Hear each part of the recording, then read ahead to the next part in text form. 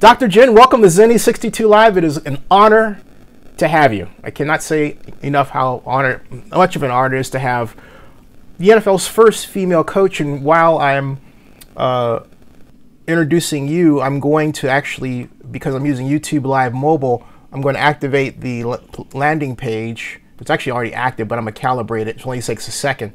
But I do this, I use YouTube Live Mobile because it's better than the desktop version by by millions and and by miles. So um, and then allows me to immediately put this out once again on social media, like I'm doing, and um, and uh, like that, just to announce to everybody that we're on, and uh, hashtag NFL, which will also go out automatically there, and there that goes, and give it a thumbs up here, and I am going to now put, go over to here to you, right there, and um, Dr. Jen, welcome. Yes. Hey, so yeah, Play Big is uh, 228 pages of really your life story, you know, to me, and uh, I'm curious to know what was the First of all, congratulations on everything you've done. You have a lot of firsts, and I'm honored to say I met you on Radio Row at Super Bowl, thanks to Be- our mutual friend Beth Silverberg, who's just an yeah. awesome person. And um, what what was the aha moment where you saw it, said, just doggone it, I'm gonna write a book, you know? Um, you know, having such a a crazy, awesome career in women's football where I knew things were special. I had kept some different journals and I always wanted to write a book. Um, I just didn't really know it was going to be possible. And after having spent time in the NFL, there were just a lot of people who wanted to know the story. And so um, it was like, okay, this is time. And this is time to be able to really capture what's been such a positive story. And I, I feel like, especially now, um, it's time for for good, positive things. And thankfully, the timing was aligned because um, we did a compressed publishing cycle. So from essentially agreeing to publish the book to the time it hit the shelves, it was only a year, which is really fast in yeah. book time. Um, but I think it was perfect timing considering everything that's going on right now. Okay, I couldn't agree more. Hey, um, I'm curious to know because as I as I said, you uh, Cam Newton made a statement last week, which almost was a setup for your book. and uh, I've interviewed Cam twice. I'm you undoubtedly know him better, much better than I do. What was what was your reaction to what you heard him say? And I've heard you talk about this before, but I like but there's a different spin on it I had, so I wanted to share that with you, you know? Well, you know, it's funny. I mean, it's not funny. It's actually not humorous. Um, but the timing was curious, I guess is the best way to say it. And um, I was on Good Morning America that morning and doing other interviews that day. So I was really wrapped up and hadn't heard about it. And um, actually found out about it because a couple of reporters reached out almost simultaneously. Wow. And I was like, uh, this isn't good. You know, have you heard about this and would you make a statement? And I was like, my gut reaction was just, okay, guys, first of all, realize Cam is a friend. And Cam has been incredibly outspoken and a great supporter of mine since the day we met. So if you're looking for somebody to have something negative to say, it's not me. I will watch it, I will consider it, but I want you to know right off the jump that doesn't speak to the man that I know. And so it took me um, a little bit to just watch and consider. And, and when I watched it, I was like, you know, he almost looked confused mm-hmm. a little bit. It was like, the question didn't hit home. And I was talking to a friend of mine later and I was like, I was like, Cam, just, that's not right. Like, I don't, that's not the guy I know. He's been interviewed by how many women, mm. right? Like, right, right. Yeah. Hundreds. Yeah. Or more, right? Over Yeah. the course of his career. And this has never come out. So this is out of character. So what was it about this particular interview? And I was like, you know, he kind of almost even paused over the question that was being asked. And I was like, you know, it was like when she asked about the physicality, the routes that they were running, and I was like, wait a minute. Nobody actually asks about physicality of route. I was Like, thinking the same thing. right? Like you don't really run a route with physicality. You run it with precision, with speed, with accuracy, with a whole lot of things. But you don't run it with physicality. You might run the ball after you catch it with physicality. You your yards after catch could be credited to running with the ball in your hand with extended physicality and you know beating a defender or two. And so it almost seemed like when I went back and just thought about it and paused that like he kind of was like wait a minute. And and he phrased it wrong mm-hmm. but I don't think it was meant to be a malicious statement. And he has always been completely phenomenal with respect to my career and even advocating on my behalf. So I know it's not a problem with women per se. No, and it's funny because when I first heard it, I thought honestly that he was thinking about it. Maybe as I was thinking about it, more like, okay, routes, and maybe he was being playful, right? And because of the way she put the physicality part, and so it kind of actually went over my, you know, this doesn't say much for me, but it went over my head. And then I mm-hmm. thought about it, I said, okay, I can see that, but also there's so many women I know like yourself and others who know how to draw football plays that it, it just didn't it was lost to me what I thought about was I remember when I interviewed Cam and I was at the Super Bowl I met you and I was talking about how I was the first person that talked to him at the NFL draft and he goes oh you, were trying to steal my thunder huh so I, was, I thought it was kind of like you know how he is right so He is, and he's a very he's a super competitive, very playful, energetic person. And if you know Cam, you know there's not one ounce of any bad spirit in him. It, it just doesn't even exist. Right? Right. He is um he is exactly who he is. And he is, you know, when he's on, it's like he elevates everyone around him. But we've seen it before. He also doesn't necessarily have a filter when things go bad. Like, you know, you can see he takes it very personal and to heart. And he doesn't have a poker face. And maybe more time in the league, he'll he'll develop that.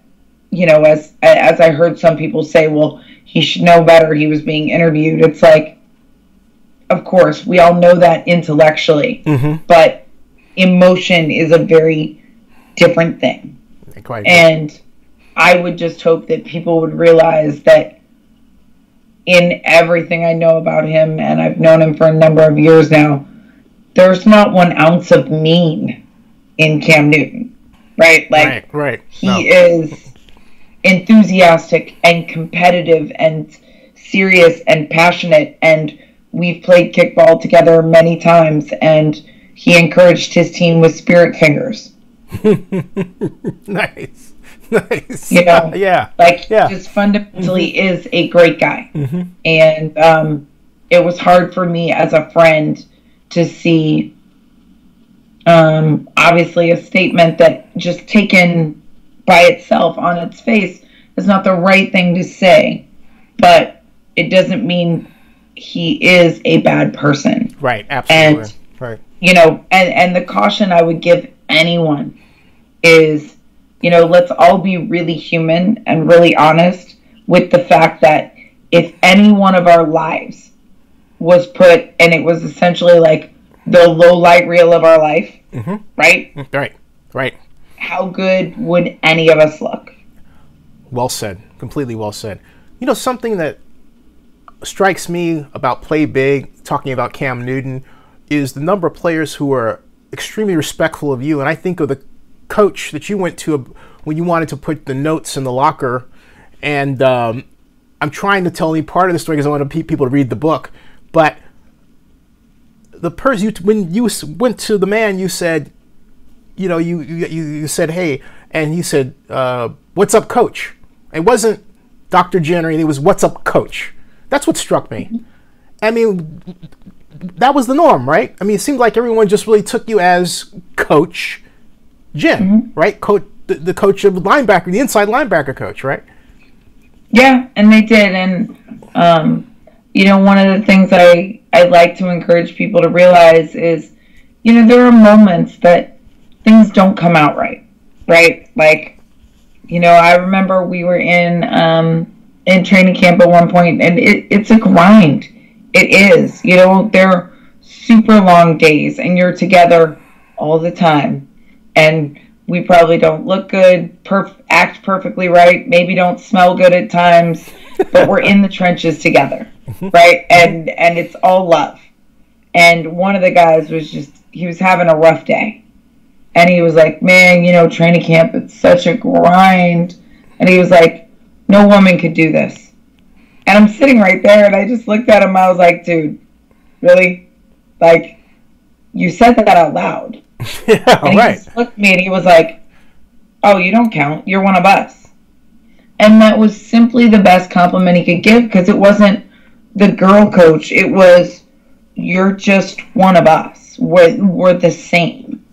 And um, to me, I think that's the beauty of like where we can get to through diversity mm-hmm. when we have an understanding of a common goal. It's like the things that people see on the outside that would divide us, like we don't even look at it that way. And if somebody looked at it from the outside um, and was looking to, you know, catch a statement out of context, maybe some of the things would seem wrong. Mm-hmm. But we have such a good understanding in those trenches that we know better. And um, you know that that's part of what I wanted people to see when they read that book is that ultimately we were more the same than we were different. You know, we were all football players.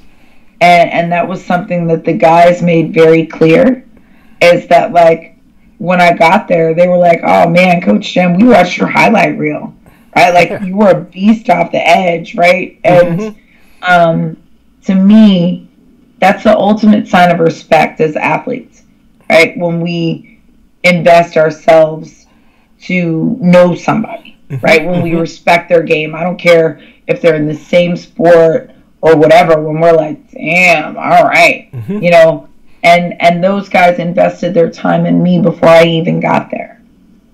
You uh, also played linebacker, and I'm curious to know what was it about being a online. Ask us from an entirely other perspective. What's your favorite defense to coach? And I, I say this because I'll, I'll, I'll, I'll say why. I really have an issue with the 3 4, okay? I hate the bubble area.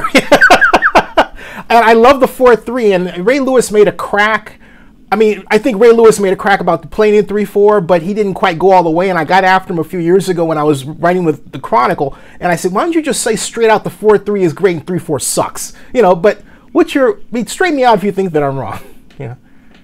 I think either defense can be great, mm-hmm. but you really have to scheme it based on your athletes. Mm-hmm. Um, I was an edge rusher mm-hmm. most of my career. Mm-hmm. So I was an outside contained person um, fast and fearless off the edge and hard to stop, mm-hmm. which, you know, at times actually had me as a defensive lineman, um, technically mm-hmm. speaking. And at five foot two, that's kind of hard to justify, but I was also really hard to stop. See, so you're, you're, almost Elmer Doomer, Dumervil, right?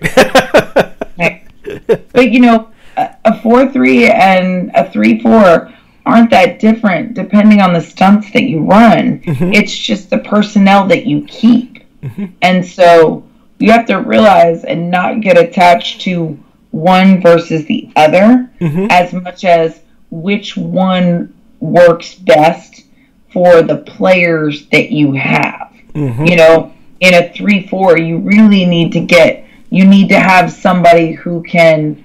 Um, who can dominate both A gaps which is tough to do, Mm-hmm. right? Like you have to be able to play both A's, Mm-hmm. and you have to be you have to have essentially linemen who are willing to take the O lineman and not necessarily always be the penetrators Mm-hmm. and be willing to sacrifice themselves so that the linebackers make their play, Mm-hmm. which, you know, is different from setting the defensive linemen as your rush guys. Mm-hmm. And you can do either one from either position. So you, it really has to do more with how you use your players Mm-hmm. and what stunts you right off it than just one defense or the other.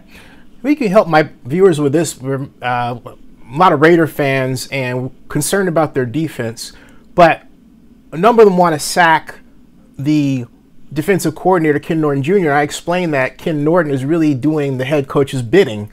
So how should we extend, you know, understand the role of the defensive coordinator here? Well, I mean, each team is a little bit different, right? And, and they always are because, um, you know, and depending on what your philosophy of your head coach is, right, mm-hmm. and which side of the ball he favors, right? If you have a super heavy, like for me, okay, mm-hmm. let's just, I'll, I'll make it personal. Mm-hmm. If I was a head coach, right, like I was with the Australian women's national team over the summer, Right. Congratulations, by the way. Thank you. But my offensive coordinator didn't really have to worry about me stepping on his toes at all because I'm a defensive girl, mm-hmm. right? Mm-hmm. So he's going to have a whole lot more autonomy because I expect him to be a whole lot better than me at offense because if he's not, we're in big trouble, right? Right. Because I'm a defensive girl. Right. Whereas my defensive coordinator and I had to be much more in sync because I'm going to be a lot more hands on and active um, in terms of the defense because that's my bread and butter. So, with any team, you have to have that understanding first and foremost is like look at not only your coordinators, but where your head coach's preferences or his attention is. Um, and then realize that if he's a defensive guy, right, like for me, that the defense rests a lot more on me and him, whereas the offense would be like, you know, if we were terrible, Right. you know, that guy's got a lot more autonomy. Right. Uh, a number of people have questions here. I'm going to uh, Yeah. pick this one, and this person, I'm going to take both of their comments and combine them into one. This person's concerned that the media tends to view black quarterbacks as different from white ones. These this is a specific media one. Uh, is that your view? What's the view? I mean, what do you think about that? And this has to do with Cam Newton and other you know quarterbacks as well. And uh, I mean, I could say a lot about that, but I want this to be your platform. So anyway, this is about you know. But what do you? What's your what are your thoughts about that? My question would be first and foremost, in what respect, Okay. right? In what respect are they viewed differently? And I think this person. Let me go back to read this person. He said, uh, um, and perhaps he'll he'll clarify that now that he's heard it. I'll say for me, I've seen the arc change because I covered the NFL draft, you know, and but I know that, uh, like for example, one person I won't mention said that Cam Newton had no heart, and we got after him. And that was before Cam was drafted. I think you know what I'm talking about. Okay. Uh, is it that a lot of a lot of views seem to have changed? I mean, have you thought, or do you think we still have a long way to go? Um, you know, the quarterback position first and foremost has to be your leader, Mm-hmm. and there are many different types of leaders. Okay, in the history of the NFL, African American quarterbacks have traditionally been underestimated. Yes. Mm-hmm. Do I think we're getting better about it? Heck yeah. Mm-hmm. Because you've mm-hmm. had so many great examples that you can't deny that it's an athleticism, intellectualism, leader qualities, all of those things. Now, can let's tap into my dissertation research and I, I will I will put on my doctor hat for a mm-hmm. 2nd mm-hmm. my doctoral research was on the NFL's use of the Wonderlic in player selection, which is the intelligence test Right. given at the NFL draft. Mm-hmm. Now, historically in our society, you know as well as I do, Mm-hmm. intelligence tests were used for discrimination purposes, Yes. right? Yes. Mm-hmm. Whether it was immigrant purposes or, you know, people trying to come up in this world, right? Yep. Immigrants say, for example, don't speak English. Well, and we give them a test that's in English, and then we say that they're stupid. No, they can't read it, but they might be very smart in another setting. So, in in the history of intelligence tests, unfortunately, they they've been found to be very biased. Okay. Yes. So my research on the Wonderlic test said, and it's the most comprehensive research done to date with respect to the impact of the Wonderlic test on prediction of performance and um, the relationship to selection. So number one, the first question would be, do teams look at, at Wonderlic tests? Yes, they do. Statistically significantly, um, quarterbacks with higher Wonderlic scores, which equate to higher IQ, are drafted earlier. Number one. Number two, quarterbacks with higher Wonderlic scores in their rookie year, which we would assume that would mean they picked up the playbook faster, actually are significantly worse. Mm-hmm. Mm-hmm. Okay. Now they increased faster, but in year four point two they were no better. Hmm. Okay. Mm-hmm. So we're playing we're paying athletes who got higher Wonderlic scores more money. Hmm. Mm-hmm. Hmm. And yet their performance is not better.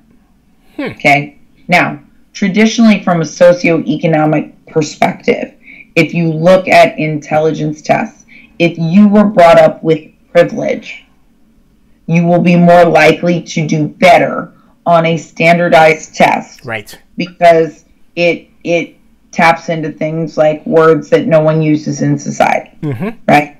And so what it means is, yes, intellectually speaking, on this measure, okay, they're doing better and they are being selected faster mm-hmm. and earlier, which means more money, mm-hmm. but they don't perform better. Okay. Right. Now, what does that say? That says, and all of us know if you've been in football, you know you have to be very smart to be very good. Right. Okay? Mm-hmm. Right? You have to mm-hmm. be brilliant. Yep.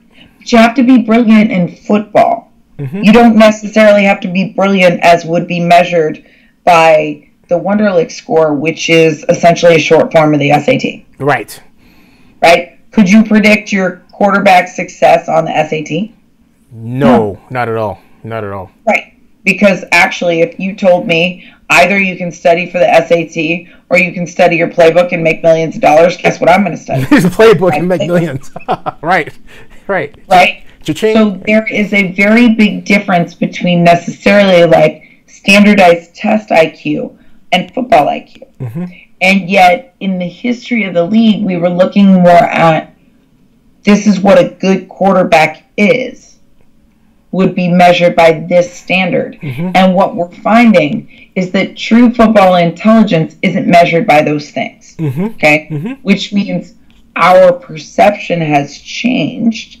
And I think the belief in what football intelligence is and who are brilliant football players and leaders has gotten better right. because you're seeing the quarterback dynamic has fundamentally changed. Mm-hmm.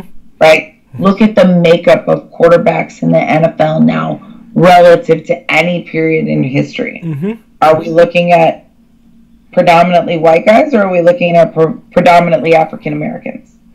Yeah, I in I think of Deshaun Watson, you know, in that in that context, and a comment that an announcer made on I think it was Sunday Night Football, where the person observed Deshaun Watson's instincts, and I'm thinking, you know, it's not instincts; those are the same moves he made at Clemson. He was trained. It's not. It's he didn't football just. IQ. Yeah, yeah, yeah, and it's Football IQ. It's brilliance in an application. yeah. Okay, we can see it play out in football, right? Because we have game tape. Mm-hmm. right? Right. Brilliance in an application could be in a whole lot of things, right? Mm-hmm. It could be in accounting, it could be in marketing, it could be in business. We don't have game tape on those, Right. right? Right. We're seeing reaction and a- action combined in real time, which is intelligence. Mm-hmm. It's brilliance. It's being able to recognize that you have two high safeties as opposed to one, and knowing that when you have two high safeties, your weakness is in the middle, Mm-hmm. Mm-hmm. right? That's right. As opposed to it's a cover three, and you better not go in the middle because you're going right in your safety's hands. Right. All of those things are brilliance, Mhm. but we didn't really know how to put that in words in the past. And I think as we see it more and more, you know, Mhm. and we look at guys who were brilliant in the history of the NFL as quarterbacks, like I can't think of a better example than Warren Moon Right. right? Then we start to see that the perceptions have to change. Mm-hmm. And I think they have definitely gotten, thankfully, um, more colorblind, Yes. meaning Yes. talent is talent. And being able to read the defense is being able to read the defense. And it's not just equating it to like what Michael Vick was when they, he was obviously a physical specimen Mm-hmm. Mm-hmm. no doubt. But they didn't necessarily credit him with being a brilliant quarterback. Right. They would say Right. he was just simply a mobile quarterback, right? And that was kind of the way that they justified it. Yeah, it was almost like his timing was off in, in terms of the advent of the read option versus the advent of Michael Vick, and I kept thinking, man, if the two had lined up, you know, Super Right. Bowl, right? Yes, absolutely. Right. Yeah, absolutely. Absolutely. Hey, um, one of my viewers want to know. I'm, I'm just ask this straight out. How do we get you back? I mean, you should need to be coaching in the NFL again. I mean, um, I, you really do. So what? What? Because we have Niners have now have a, a, a female coach thanks to you know yes thanks to your uh, influence and success. Well, But- and Katie's a former teammate of mine, so I'm really happy for her. We played together on Team USA. Oh, okay. Uh, yeah, and we played against each other for many, many years. She played for Kansas City, and I played for Dallas. So those were um, rival teams. So, Oh. you know, I'm honored that she's in the league now. To me, that's affirmation that, you know, what we did in Arizona was so successful. Um, in terms of me being in the league, you know, that's up to the coaches. Mhm. And it really is. You know, it always is. Um, and it's up to making the right connections at the right time. how does it and this goes back to play big and my trying to grow my startup and my fears of approaching VCs how did you I'm just being honest how did you when did you get the point where you said all right I got to overcome this fear was it knowing what the fear was or adrenaline or you know how do you how do you how do you get over yourself is what I'm trying to get at you know Um, I think for everybody, it's there's an intersection between want and fear, hmm mm-hmm right? Mhm. And sometimes want wins, and sometimes fear wins. Um, for me, you know, I never had the goal of, say, coaching in the NFL because that wasn't something that was possible. It was something that I never could have dreamt of being a possibility because there was nobody I could look at and say, I want to be her. I want to do that. So I didn't have this master plan or this giant goal of, I will be in the NFL one day. mm-hmm Right. mm-hmm Um, so it it wasn't the same as a lot of people have as like you know you're saying right now like I have this master dream and I have to overcome the fear to get there. Right. Right, right. Um, that's that's a little bit different because you're looking at something that's actually possible. Hmm. right? Or been done. Mm-hmm. And and you're looking at yourself relative to that point. True. True. okay? There was no point of comparison for me Ah, so it wasn't the same and you know I don't know if there was a point of comparison, if there was somebody that I looked at and I thought, you know, could I live up to her standard? If I would have been brave enough to do it. Thankfully, I was the first, so um, I guess other people have to get over that for, you know, um, for themselves. Um, but for me, my goal going in when I had that opportunity was to be the first and not the last. It was to be a very good lead blocker and to make sure that the door was opened further. Mm-hmm. Mm-hmm. Right? Right. So that other people could enter, even if it wasn't me. And I think that that's an important point because, um, because when you have, like for me, when that was my gauge of success, mm-hmm. right? Ensuring that the door was open. That was how I, how I set the standard of success for myself. Yeah. This was the goal. That other women would have the opportunity because of what we did in Arizona. Okay? And so that means success is seeing Katie there. Even if it's not me there.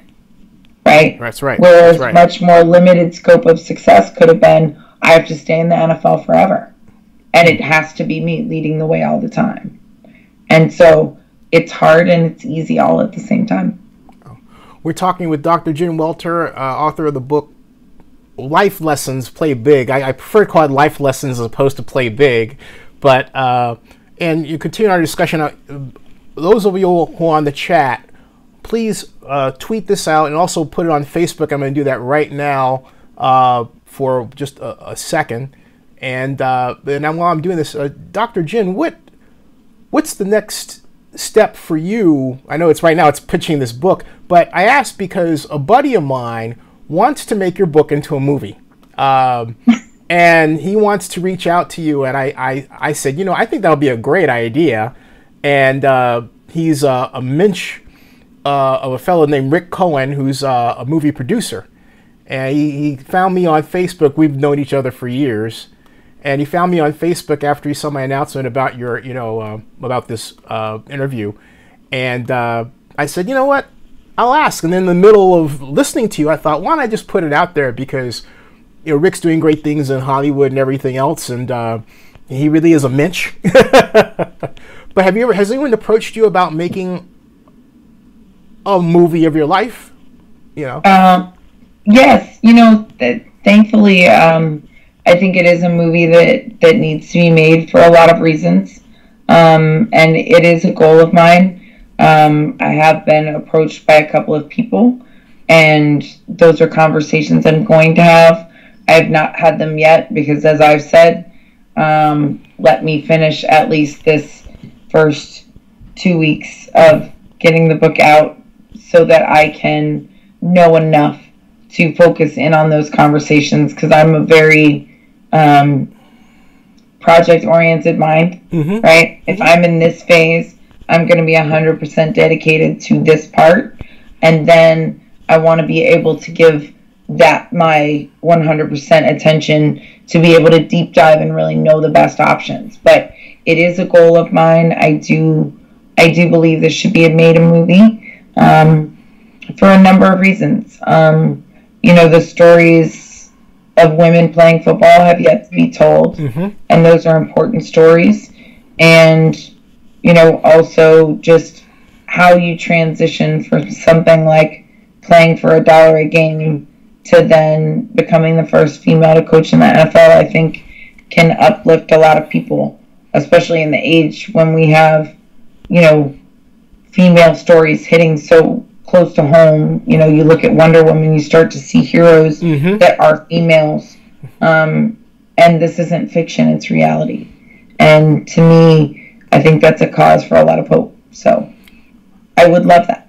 Is there, can we start a bidding war for the rights to write the script? uh, okay, cool. I have a treatment idea. Hear that, Rick Cohen? I got a treatment idea. hey, what did you realize about the NFL being inside of it that you didn't know before, and I'll explain what I mean. Uh, I've been associated with the league, as we talked about off camera, well, since, wow, 1993, and then really it's 1999 when I tried to bring Super Bowl to Oakland and all that. Went to the NFL annual meeting, and it really, to me, is a lot like family, you know? But I was wondering what you thought about that because you, you know people on a first name basis. You have an entirely different view of them in the media picture. What do you think? You know, they are family. Mm-hmm. I mean, I you know, I lovingly say I have um, the most wonderful, diverse family. Mm-hmm. It's my football family, um, and it's giant. It's women and men um, who I've played with, played against, coached with, coached against, been coached by domestically and abroad. And we are every make, model, shape, size, creed, color, you know, sexual orientation, religion, everything. Mm-hmm. And it's a big melting pot. And it doesn't work if everybody looks the same. Mm-hmm. Um, and to me, that's what I love because we find our univer- unity in our diversity.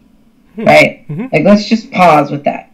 We find our uni- unity through our diversity. And that's what makes us beautiful and special. Amen. Amen. And if we in our country could do a whole lot more of that, we wouldn't be dealing with a lot of the problems that we are today. Mm-hmm. And what I found is that what I knew in women's football and then even in arena football was just the same or even more so at the NFL level. Mhm. Um, and I, I have now relationships that extend even past the Cardinals because, you know, I'll have guys all the time, they'll be like, oh, Coach Jen, your family, right? You're a part of the family. Right. Right. And they might be people I never met, Mm-hmm. but, you know, they talked to so and so who played for the Cardinals and he said I was the real deal. So, you know, just know your family Mm-hmm. and we got you. And, and it really is um, for somebody who grew up in a very small family and I always wondered what it would be like to have a big family reunion. Mm-hmm. I get that all the time now, and I and I love it. And there's there's so much love, and there's also so much of a desire to set the standards not only with the team but also within society as well. And um, you know, I wish more people saw the beauty in that that I see all the time. Yeah, I couldn't have. I couldn't have said best. I think the the book really also brings that out too. Uh, what do you think of Bruce Arians, the coach? Because I, the guy's a mensch. Those those hats kill me though. With the but how was Okay, he? How so was he hats have a great story. Okay. Actually, the hats, um, everyone that's sold, Mhm. the money that he raises goes to the Arians Family Foundation, which um, advocates, oh, which advocates for kids, their CASAs, so child advocate services, and that's something his wife has been really passionate about and advocates for. Um, so they really help um, a lot of kids through what they do, and all the proceeds from those hats go to that. Um, I remember Bruce at one point telling me he was like, you know, these hats just kill me now. I got to wear them all the time. Everybody expects it, but you know, it helps the kids, so it's a good thing. And um, but that's what I love about Bruce is he is a what you see is what you get guy. Mm-hmm. There's no falseness in Bruce Arians at all. He is 100% authentic. I knew within five five minutes of meeting him that I would run through a wall for him, Wow. and I didn't understand the wall that he was going to have me run through at the time. Um, but it was funny because everything about him is is very well thought out, but it's also very um, very genuine and very like he goes with his gut. Um, like I remember talking to his wife, Chris, and she is a hot ticket. She really is. She's brilliant and feisty, and I think she's a little shorter than I am. Um, so she might be like five foot, but she has like um, kind of spiky hair. So she's probably about my same height with the hair. And, um, you know, I actually talked to Bruce about some of the things in my book because um, I wanted to make sure that I understood his perspective on some of the important decisions because to me, you know, Bruce bet his entire career on me. Yes. And I said to Chris at one point, I said, you know, I'm so glad that Bruce is allowing me to interview him because, you know, I tell people all the time that he risked his career on me. And she goes, Oh, yeah, when he told me that, I told him he was crazy. Why are you going to bet your whole, you know, why are you going to bet your whole career on some girl? And she looked at me and she just smiled and she said, And yet that's what I love about my husband. Wow. He was smarter than I was. He had not one doubt when it came to you. He just knew it would work. And it was such an honest exchange. And that's, you know, that's the thing I would say about the whole Arians family is they will have an honest conversation with you and tell you, I had a reservation and you answered the question. It won't be like, oh, I had no doubt. No. You know, it, it's very honest and true. And um, for anybody who's seen a an interview with Bruce Arians and thought, oh my gosh, he seems like a cool dude. No, no. He really is that cool a dude. And He's like that all the time, too. There's no pretense. Any contact with the Bidwell family? Because they seem like they really were great at laying the ground and then just sort of stepping out of the way and let, letting Coach Arians, you know, kind of uh, set the tone for you, you know, in a way where you weren't hampered. Am I am I misreading yeah. that? Yeah. Yeah, no, you are. Um, I mean, you know, ours. Um, I think unless you're a, a, select few, you you meet them uh, sporadically. But um, my hat is off to the Bidwells for you know being willing to step into that decision and be willing to open the door for all women who cared about football. And um, you know, it, it's not like I got to talk to Michael Bidwell every day but when I did, he was, um, you know, just very supportive and um, everything you could ask for. I'm getting um, hammered with qu- one question, which we talked about, but we didn't quite. Uh, do you want to talk about this kneeling thing? Are you cool with that? Sure. Okay, cool. Uh, what do you think about the kneeling controversy? My thought, and I'll just just explain where I'm coming from. I salute but I'm also a person who's been victim of police brutality. And uh, I'll tell the story what happened. This was uh, foreshortened. Uh, came home one night in 2006 on the Bay Bridge. Guy was tailgating me. Make a long story short, um, I wanted him to get off my back, so I went over to Highway Patrol. I went in front of the cop to get his attention. They get off the bridge, they stop me. The guy that was tailgating goes by me at 85 miles per hour. He breathalyzes me, even though I wasn't really over the limit. He said I was. Puts me up like this in a handcuff, right? Says he's going to let me go. Doesn't. And then as tears start rolling down my eyes because I realize what was going to happen, he takes my entire body and slams it on his patrol car. Okay. And then he wrote that I delayed arrest. So I was remanded for about two nights at Santa Rita in the Bay Area, where I live. I live in Oakland.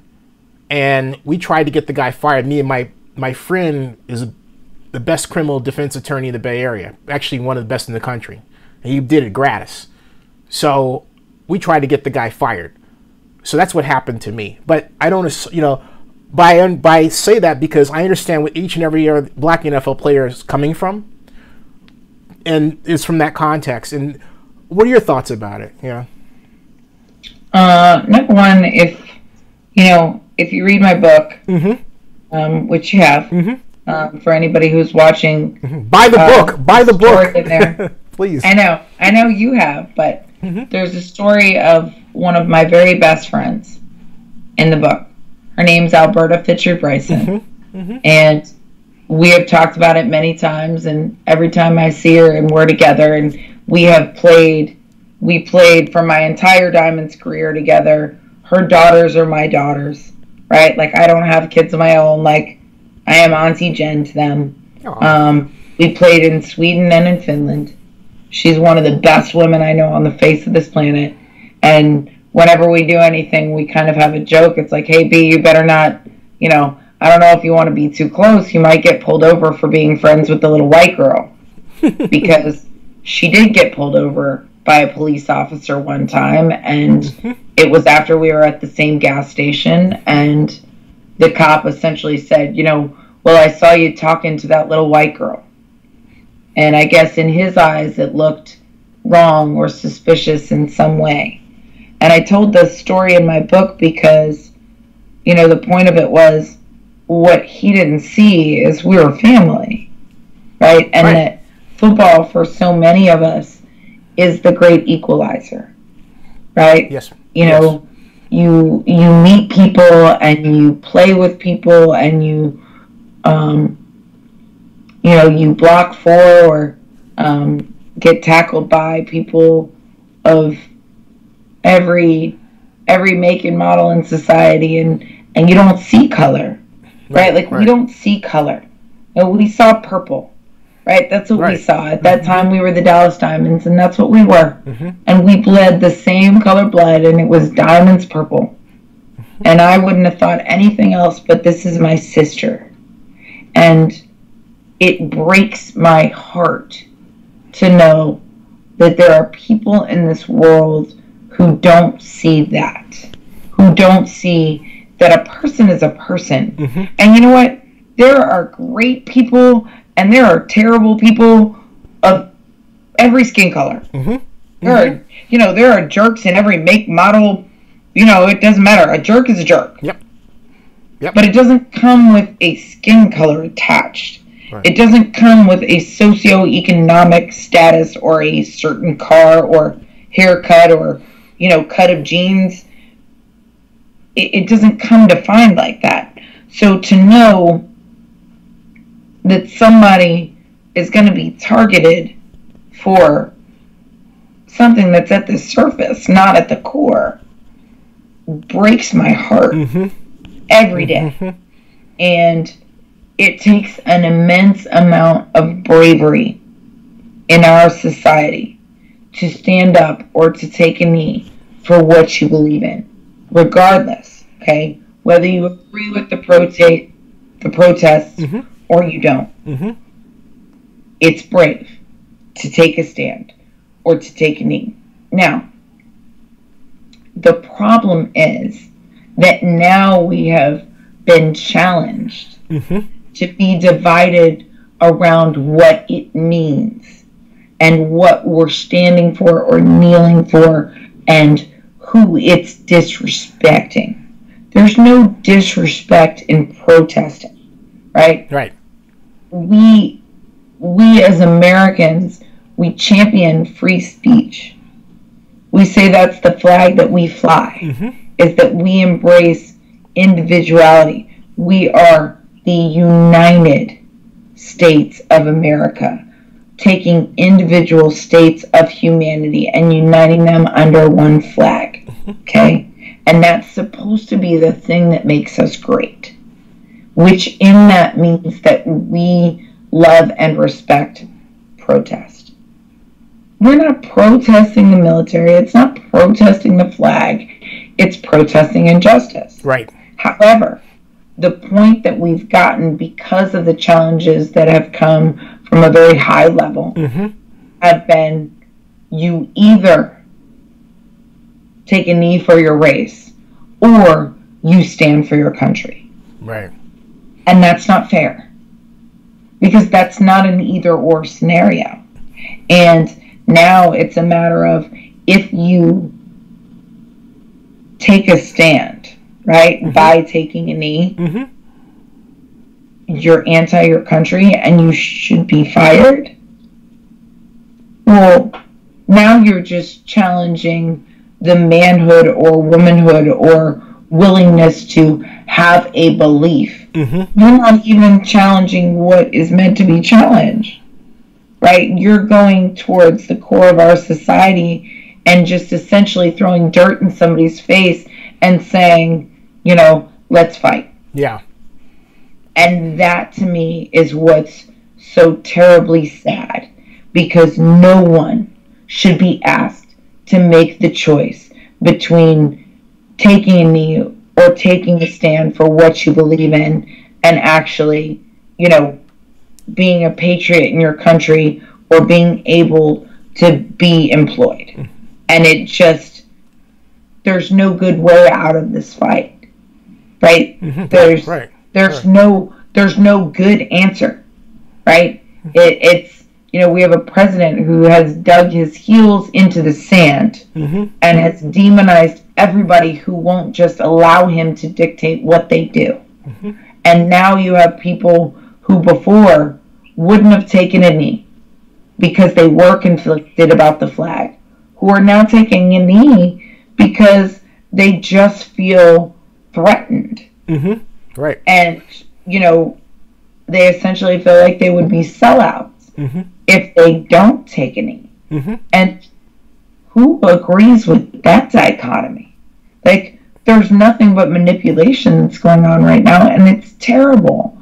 And as coaches, right? Mm-hmm. As coaches, you hear them talk about, we talk about two things that are essential to a team. Number one, it's unity. And number two, it's minimizing distraction. Right. Right. And I get the impression. I'm sorry. Go ahead. Go ahead. Go ahead. and this is this is creating both chaos and distraction Mhm. and disharmony so it's ripping people apart in a sport that is fundamentally founded on the need for diversity as a strength Mm-hmm. Mm-hmm. Yep. and that's what makes it so tough I was going to say I got the impression I saw Mike Tomlin at his first press conference, and he was, it seemed to me, visibly upset that this was being brought to them and making them to see seem out to be people they weren't. He, he- you know, and I get the impression that um, because you're deep in the coaching ranks, I'm a media person, but my impression has always been that the coaches are more like father figures, and they take umbrage to their children being screwed with. That's am I looking at it the wrong way? i think anybody that loves and cares about people Mm-hmm. is going to take that personally. Right? Like, this is my, like, I look at, as I said earlier, like, this is my family. Mm-hmm. Right? You might not see that we're family, but we're family. Mhm. And you're threatening my family. Right. Right. And, and we function best when we see each other as family. And that we're willing to, for example, be a lead blocker and lay out and take on that big person, right, on defense Mhm. and take them out of the equation to not get the glory, to let someone else get the glory because of that love and trust and care. And then you want to threaten, like, family, or you want to create division at the core because you've created this no win dichotomy. I mean, of course, Tomlin was crying. You you kept your team in the locker room Mhm. to spare them from having to make an impossible choice, Right. A no-win decision. They, you know, you take a knee or you don't take a knee. You're hurting someone, and you're you're not standing for something. There's no win in that situation. That's a heartbreak scenario for any person who cares about their team. Will diversity get us through this? You think? Getting back to your book's message. I certainly hope so. But I think it's the unity that comes from diversity. Well said. And- yeah. Well said. I'm sorry. Go ahead. You know what I mean? The unity that comes from diversity and the desire to live with empathy and to walk a mile in somebody else's shoes. You know, I have not been pulled over because, you know, for as many people would say, driving while black. Mm-hmm. Mm-hmm. Right? We've all heard that statement. Right. I've never personally experienced it, but I have felt the pain mm-hmm. of watching somebody that I love recount a story and an experience.